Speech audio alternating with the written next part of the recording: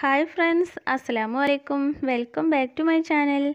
നോമ്പിന് നമുക്ക് സിമ്പിളായിട്ട് ചെയ്തെടുക്കാൻ പറ്റുന്ന ഒരു റെസിപ്പി ആയിട്ടാണ് ഞാൻ വന്നിട്ടുള്ളത്.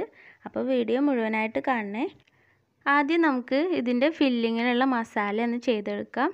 അപ്പോൾ എണ്ണ ചൂടായതിന് ശേഷം ഞാൻ രണ്ട് വലിയ ഉള്ളി ചെറുതായിട്ട് അരിഞ്ഞിട്ടുള്ളത് ഇട്ട് കൊടുത്തിട്ടുണ്ട്.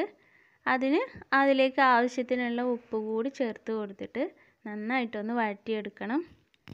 ചെറുതായിട്ടൊന്ന് വഴറ്റിയെടുത്തതിന് ശേഷം ബാക്കിയുള്ള ഇൻഗ്രീഡിയൻസ് കൂടി നമുക്ക് ചേർത്ത് കൊടുക്കണം.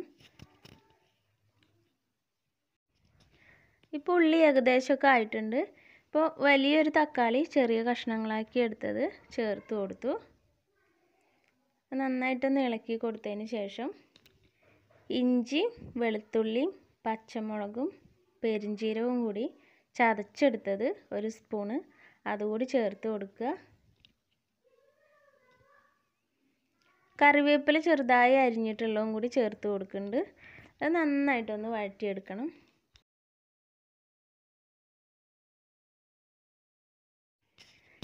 ഇപ്പോൾ ഏകദേശമൊക്കെ ആയി വന്നിട്ടുണ്ട്.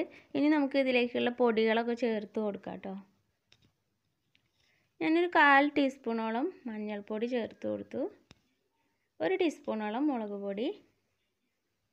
അപ്പോൾ പച്ചമുളക് ഇഞ്ചിയൊക്കെ ചേർത്ത് കൊടുത്തുകൊണ്ട് മുളക് പൊടി ഒരുപാട് ഇടണമെന്നൊന്നുമില്ല പിന്നെ ഒരു സ്പൂണ് മല്ലിപ്പൊടി കൂടി ചേർത്തിട്ട് കാൽ ടീസ്പൂണോളം ഗരം മസാലയും ചേർത്തു.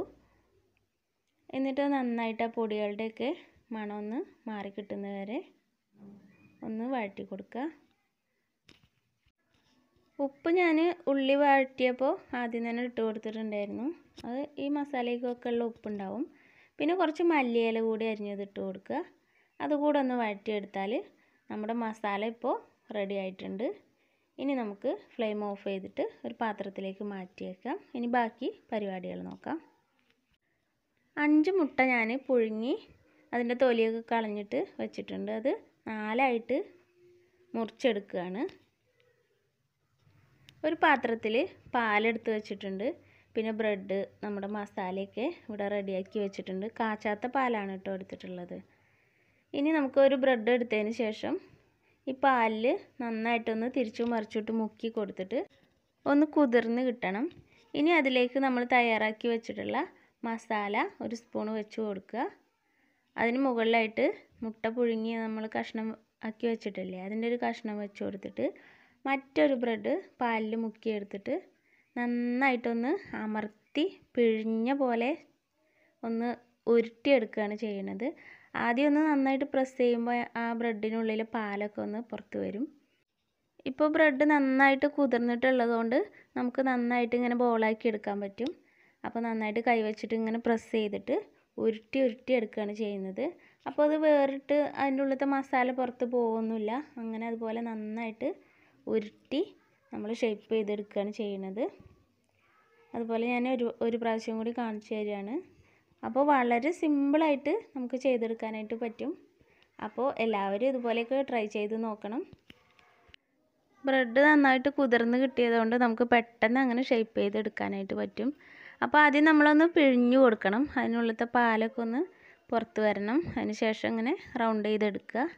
ഇപ്പോൾ ഞാൻ മുഴുവനായിട്ട് അങ്ങനെ ബോളാക്കി എടുത്തിട്ടുണ്ട്. ഇനി നമുക്കിത് ഫ്രൈ ചെയ്തെടുക്കാം. എണ്ണ ഇവിടെ ചൂടായി വന്നിട്ടുണ്ട്. അതിലേക്ക് ഓരോന്നായിട്ട് ഇട്ട് കൊടുക്കുക.